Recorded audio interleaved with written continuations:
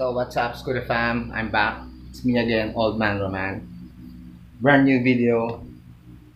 But since today this is not connected to scootering anymore, I think I should change my intro and greetings.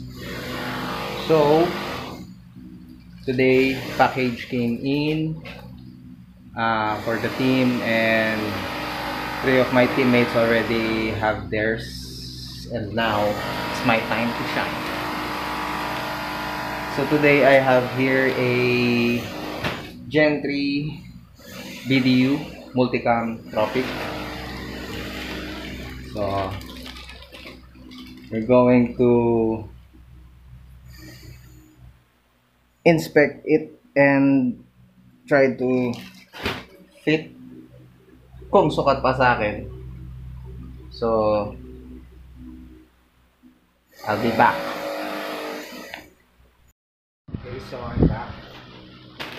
So, let's open this.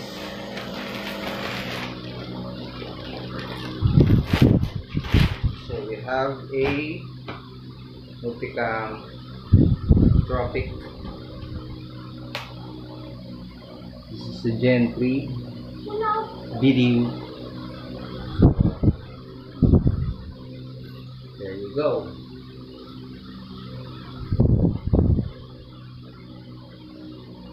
Ganda ng pangalan guys. Walang click yan, walang click. Mga Chinese collar with a working zipper.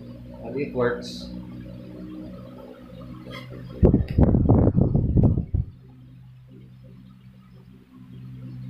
striped velcro sa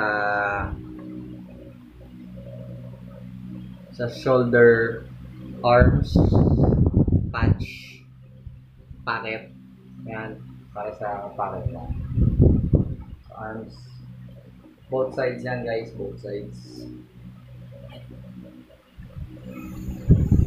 Maganda naman yung tela. May asusot natin ito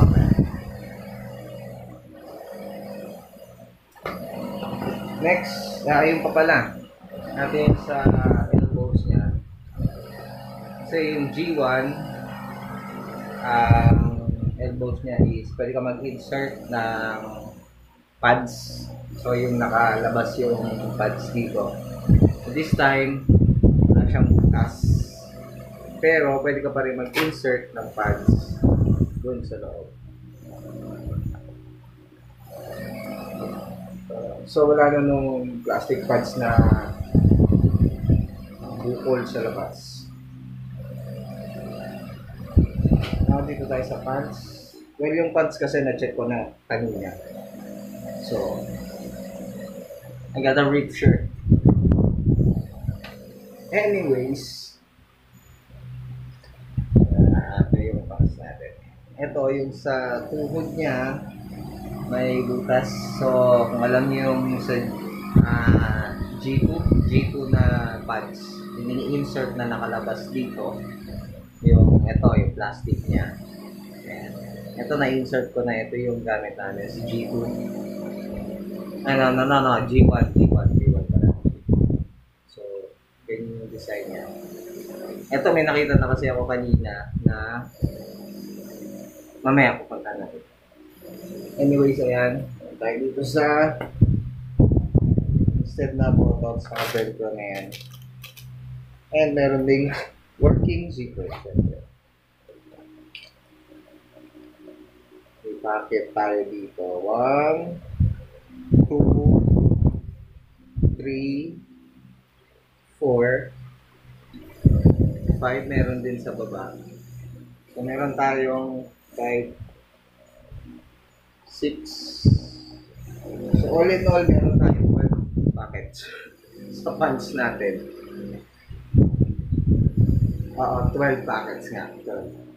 So, balance naman yung mga packets. So, yung yung back packet niya, ayan. Naka zipper din. So, working din yung zipper niya. So, hindi siya display or hindi siya sira. Uh, bakit? Naka-velcro rin. Ayan. So, ngayon, punta tayo dito sa lipad part. Ayan. Well, yung sa G1 kasi is i-insert mo siya dyan. So, nakalabas dito yung pads kagaya nito. So, ito yung G1 ha, yung G1. So, ito yung sa black multicam ko. I've been using this dun sa Terno na black multicam ko. And by the way, this um, set doesn't include yung pads. So, either maghanap ka ng pads or gusto mo yung external pads mismo yung extra. So. So, nakita mo, maganda yung pagkakagawa niya kasi naka velcro yung loob. So,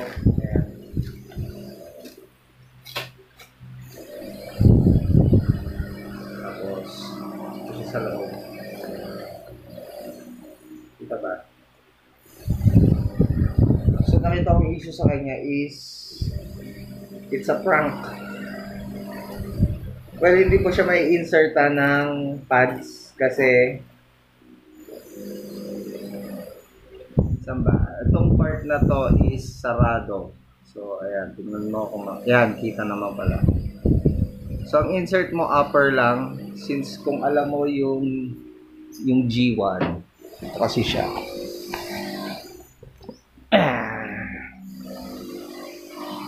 Siya.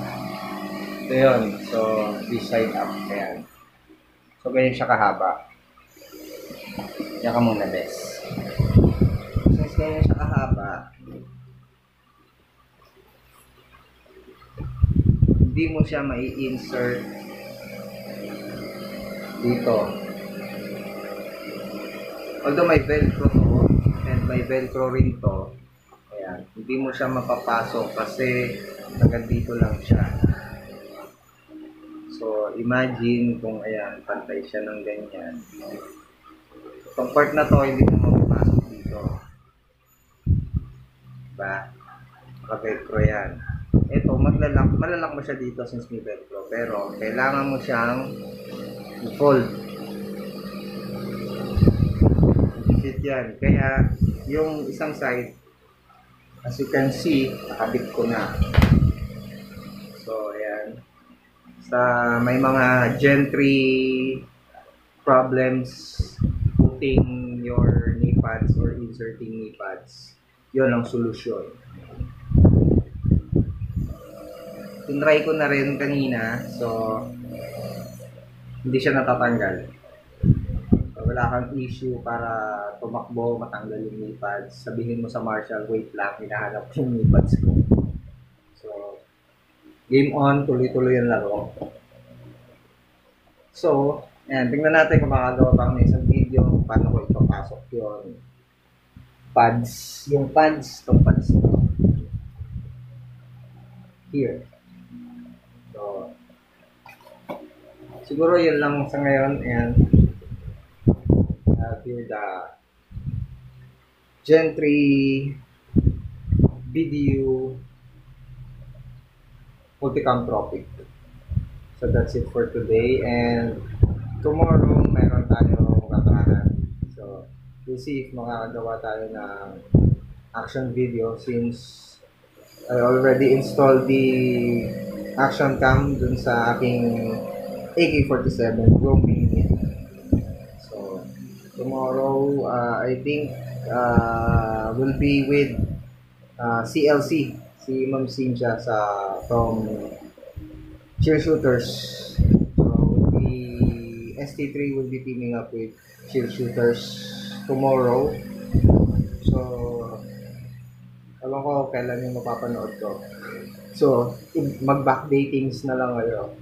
Check nyo na lang yung date as soon as I posted this video. So, tingnan natin kung mahabol pa natin yung paano mag-insert ng pads dito. So, if not, gagawa ko ng bago. So, bubukod ko na siya ng bagong video.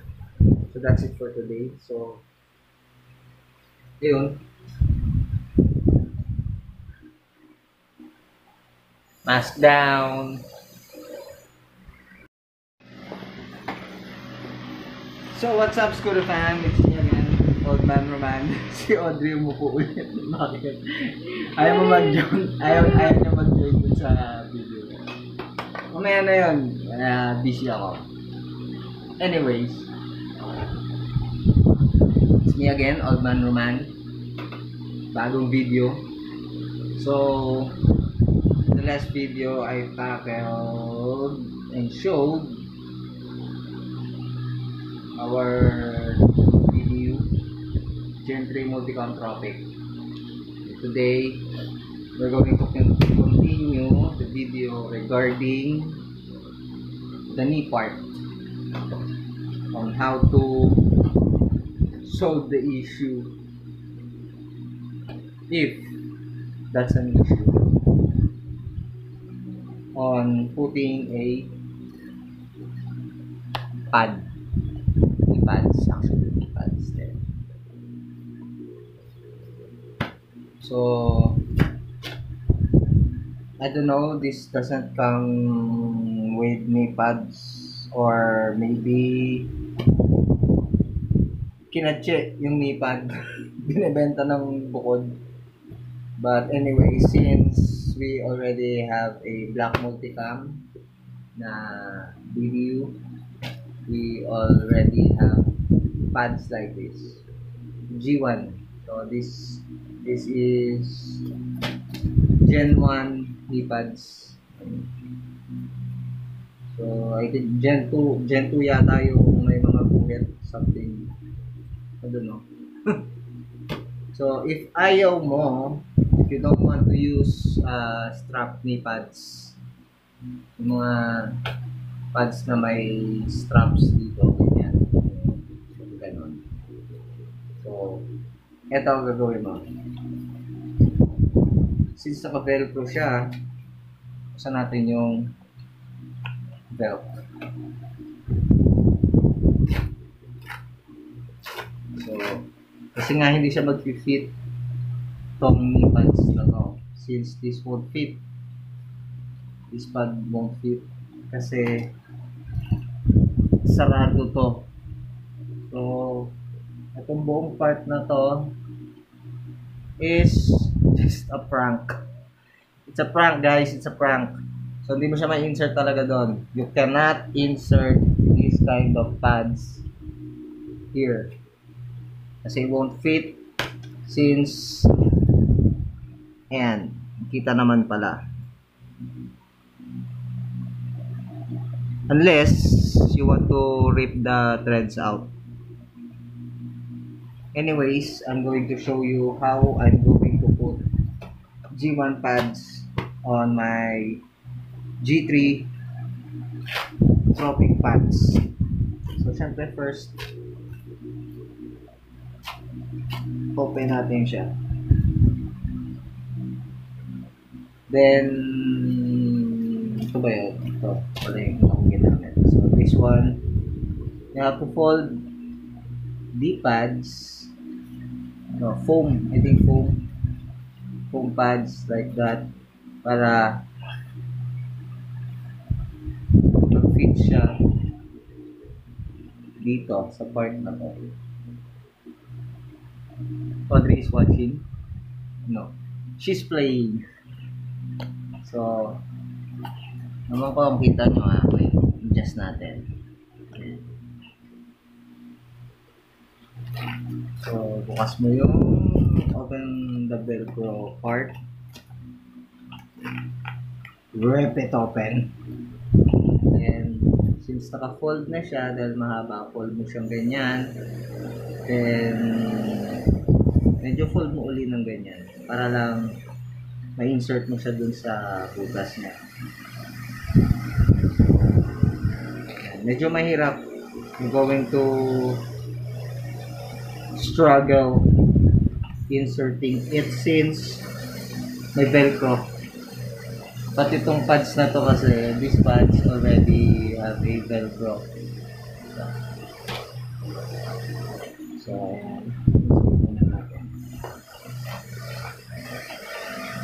Okay. I'll be back A few years later. already done putting the pads on both sides. So I have to skip the video or fast forward then it so there you go. Already inserted. So yan as you can see fit siya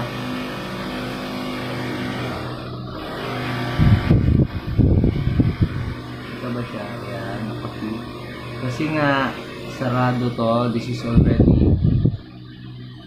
katahi so so na siya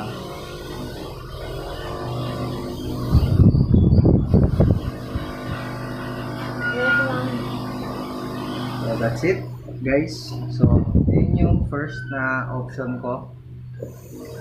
Uh, how to fix the problem. So, I think problem solved. If that's a problem talaga. I added my pads. So, test fit. I'll be back.